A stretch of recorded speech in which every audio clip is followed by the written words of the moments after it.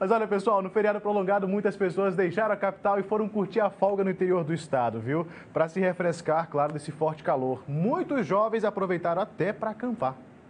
Após dois anos sem o acampamento jovem da Igreja Adventista, os jovens voltaram empolgados e cheios de energia para participar das atividades. Aqui não tem moleza. Em cada atividade é preciso concentração e trabalho em grupo.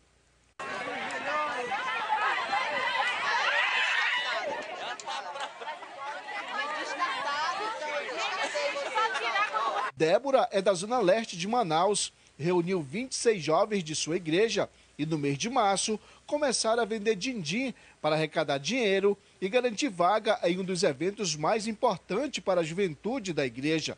Bom, nós somos 26 acampantes, né? E assim, a nossa maior dificuldade foi a questão financeira.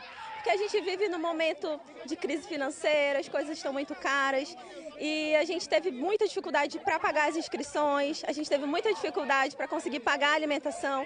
E um dos meios que a gente conseguiu foi vendendo din-din e vendendo peixe assado. Nós estamos vendendo peixe assado em din-din desde março. Nós começamos em março. E através dessas vendas, através da ajuda dos meninos, da diretoria que ajuda bastante, nós conseguimos estar aqui, graças a Deus. Este ano o evento reuniu mais de 4 mil jovens de Manaus e mais 20 municípios do Amazonas. As atividades incluem trilha na mata, tirolesa, escalada em árvores, travessia de lagos e muito mais. A parte espiritual é o ponto alto do Acampijá.